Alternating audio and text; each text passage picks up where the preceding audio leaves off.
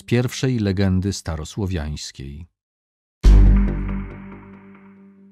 Po śmierci Wratysława Czesi wybrali jego syna Wacława na następcę.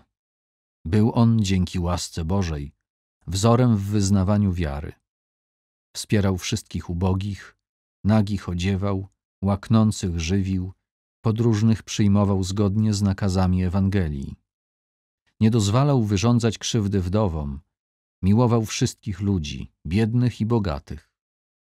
Wspomagał sługi Boże, uposażał kościoły.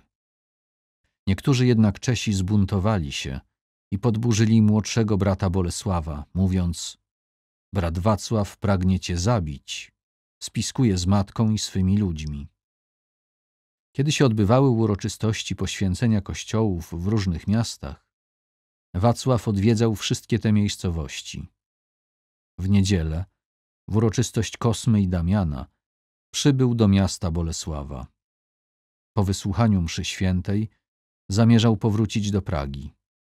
Bolesław jednak zamierzając dokonać zbrodni, zatrzymał go słowami. Dlaczego chcesz odejść, bracie? Nazajutrz rano zadzwoniono na jucznie. Usłyszawszy głos dzwonów, Wacław powiedział Bądź pochwalony, panie, który dozwoliłeś mi żyć aż do dzisiejszego poranka. Wstał i udał się na modlitwę ranną. Zaraz potem Bolesław przystąpił doń u drzwi. Wacław zobaczył go i rzekł: Bracie, dobrym byłeś dla nas wczoraj.